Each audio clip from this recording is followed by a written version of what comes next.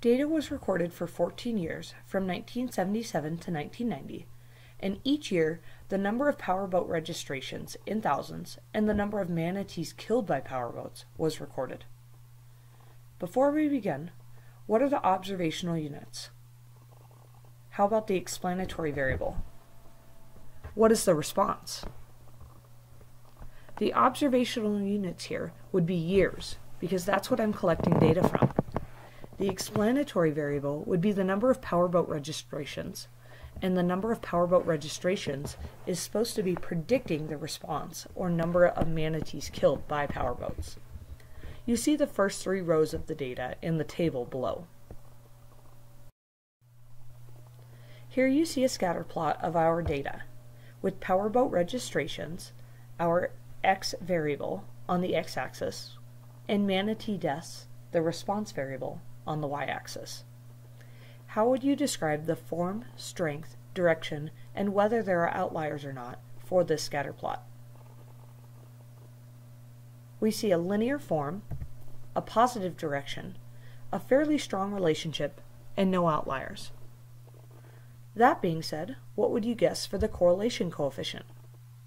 Well, since the relationship is strong, positive, and linear, you should have guessed a correlation coefficient near 1. The calculated correlation coefficient is 0.943. We will not ask you to calculate correlation coefficient, but we could ask you to estimate it, in which case a number near 1 would have been the correct answer. How would you determine the coefficient of determination then?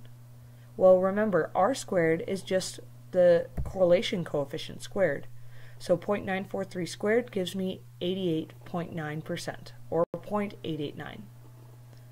Finally, we would not ask you to calculate the regression line, but we would give it to you as you see here.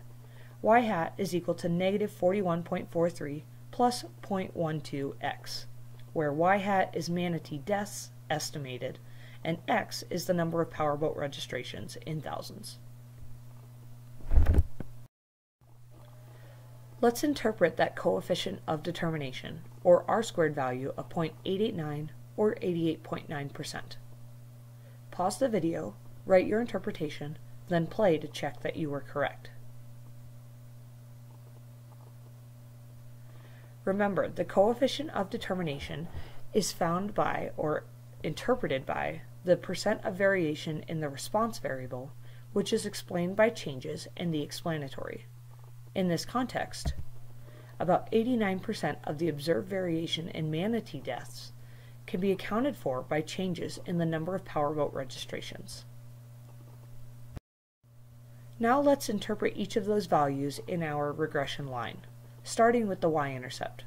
Again, pause the video, then play for the answer.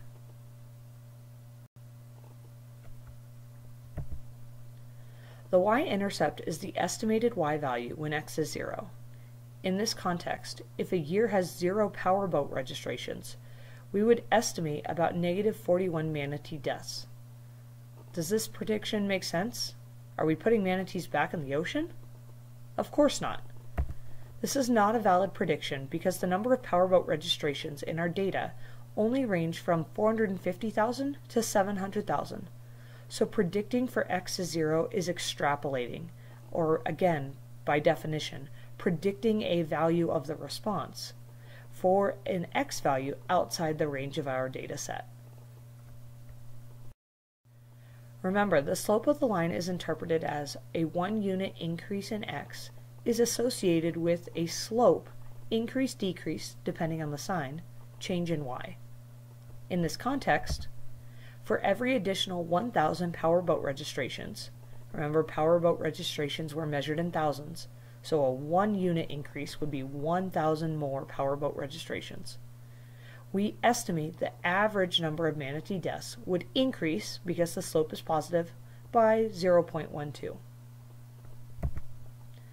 Another way of saying that is for every additional 8,000 powerboat registrations, we predict approximately 1.12 times 8 additional manatee death.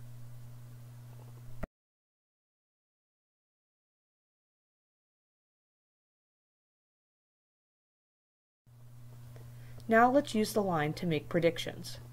What if there were 500,000 powerboat registrations, or x is equal to 500? Then we can plug 500 into our equation and we get y hat is equal to 18.57. How would we interpret that value?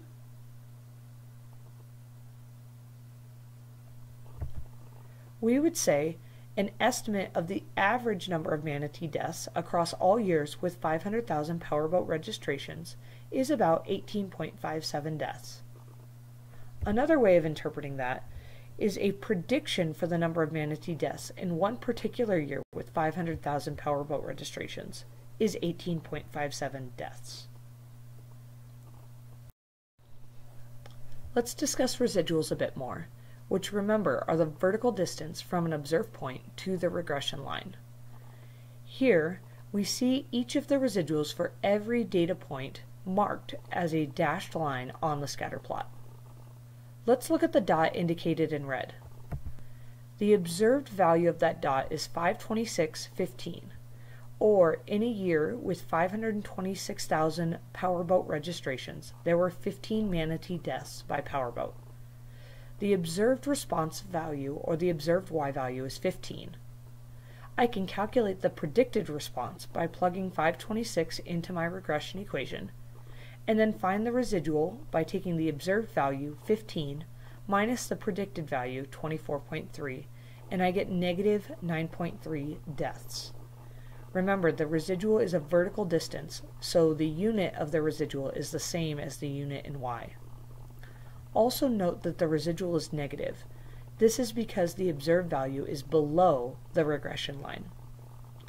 Let's go through that same process for the blue dot. The observed value is 559 and 34, so the observed response is 34. The predicted response is calculated by plugging the x value, 559, into the equation, and then we can see the residual would be the observed y value minus the predicted y value, giving 5.6 deaths. And again, we see a positive residual because the observed point is above the regression line.